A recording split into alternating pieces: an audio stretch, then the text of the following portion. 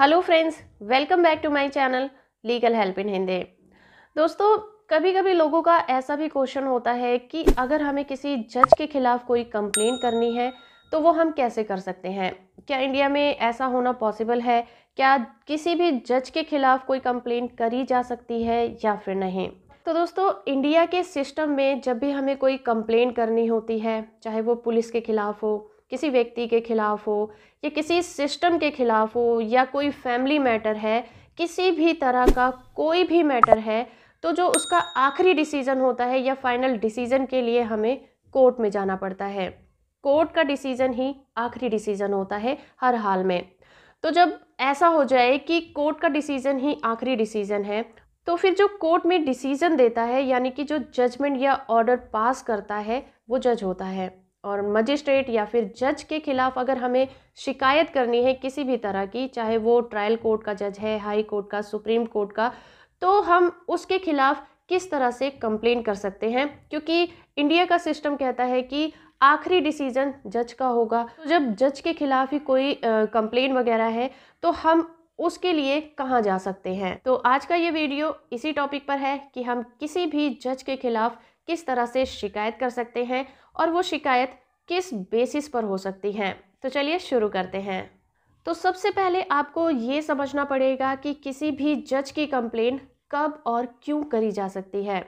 अगर सपोज़ आपको किसी जज के द्वारा दिया गया कोई जजमेंट पसंद नहीं आता आपको लगता है कि वो जजमेंट गलत जजमेंट है? किसी भी जजमेंट के बेसिस पर आप किसी मजिस्ट्रेट या जज को जज नहीं कर सकते, ना ही उनकी कंप्लेन कर सकते हैं। अगर आपको दिया हुआ कोई भी जजमेंट पसंद नहीं आता, आप उससे सेटिस्फाई नहीं हैं तो उसके लिए आप अपील कर सकते हैं रिव्यू रिवीजन इस तरह के प्रोसेस में जाकर, उस कोर्ट की हायर जुडिशरी सिस्टम में जाकर आप उसके लिए अपील कर सकते हैं और कोर्ट को ये बता सकते हैं कि इसमें क्या कमियाँ हैं।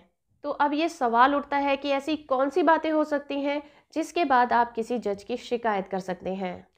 सबसे पहला पॉइंट, अगर आपको लगता है कि किसी जज का बिहेवियर आपके लिए बहुत ही ज़्यादा रूट था, बहुत ही अब्यूज़िव था तो आप उस जज की कंप्लेन कर सकते हैं। Throughout the hearing when you feel कि जज का बिहेवियर आपके लिए बहुत ही होस्टाइल था, यानी कि पूरी सुनवाई के दौरान आपको ऐसा महसूस कराया गया उस जज के द्वारा कि वो आपका जैसे कोई एनिमी है। आपको बिल्कुल सुना नहीं गया। आपके लिए बहुत ही एनिमी जैसा बिहेवियर अपनाया गया। गंदी लैंग्वेज और उनकी जो बॉडी लैंग्वेज है, वो आपके लिए सही नहीं थी। तो आप ऐसी कंडीशन में ये स्टेप उठा सकते हैं। या फिर आपको ऐसा लगे कि जब आप अपनी बातें कह रहे थे तो जज ने आपको नहीं सुना। वो स्लीपी थे, वो सो रहे थे, या फिर वो जम्भाई ले रहे थे। उन्होंने आपकी बातों को बिल्कुल भी गौर नहीं किया।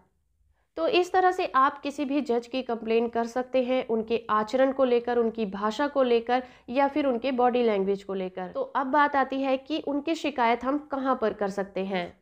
उनकी शिकायत को हम सबॉर्डिनेट जुडिशरी में कर सकते हैं। आप कोर्ट के जजेस के रजिस्ट्रार को या फिर जिला प्रशासनिक न्यायाधीश को आप अपनी कंप्लेन भेज सकते हैं। लेकिन अगर वो हाई कोर्ट के जज हैं तो आप उनकी शिकायत सीजे यानी कि चीफ जस्टिस के पास कर सकते हैं। लेकिन अगर वो जज सुप्रीम कोर्ट के हैं तो आप उनकी शिकायत को सी यानी कि चीफ जस्टिस ऑफ़ इंडिया के पास करेंगे। और इसी तरह से chief justice of high court की शिकायत करनी हो तो उसकी शिकायत भी आप सी के पास ही करेंगे, यानी कि चीफ जस्टिस ऑफ़ इंडिया के पास करेंगे।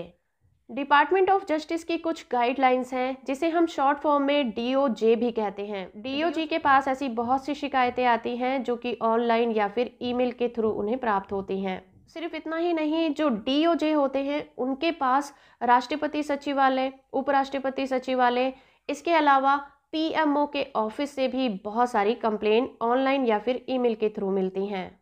और वो शिकायतें जिस भी तरह की जिस भी कैटेगरी की होती हैं उसी डिपार्टमेंट में रेफ़र कर दी जाती हैं। उनको उसी डिपार्टमेंट के लोग हैंडल करते हैं। इसके अलावा जो भी शिकायतें जुडिशरी से रिलेटेड होती हैं, वो सुप्रीम कोर्ट के सेक्रेटरी जनरल के पास रेफ़र कर दी जाती हैं और या फिर council high court registrar general के पास फर्दर अप्रोप्रिएट एक्शन के लिए भेज दी जाती हैं। लेकिन अगर कोर्ट के फैसलों के खिलाफ कोई कंप्लेन आती है तो उनको शिकायत की तरह हैंडल नहीं किया जाता। उन लोगों को रूल के अकॉर्डिंग ही काउंसिल दी जाती है, उनको सलाह दी जाती है। और सुप्रीम कोर्ट के जजेस के खिलाफ जो भी शिकायत होती है, वो चीफ जस्टिस ऑफ़ इंडिया को रेफ़र कर दी जाती है। और शिकायत करने वाला इसके बारे में उसी डिपार्टमेंट से सारी जानकारी भी प्राप्त कर सकता है। तो दोस्तों, आज की इस वीडियो में हमने जाना कि किस तरह से आप जजेस के खिलाफ शिकायतें दर्ज कर सकते हैं और कहाँ पर दर्ज कर सकते हैं, उसके लिए कौन कौन से रीज़न हो सकते हैं। होप कि आपको ये इन्फॉर्मेशन अच्छी लगी होगी। वीडियो अच्छा लगा है तो आप इसे लाइक और शेयर ज़रूर करिएगा। चैनल को सब्सक्राइब कर लीजिए। साथ में ऑल नोटिफिकेशन बटन को ऑन रखिए ताकि जब भी मैं कोई नई वीडियो अपलोड करूँ, आप उससे अपडेट होते रहें।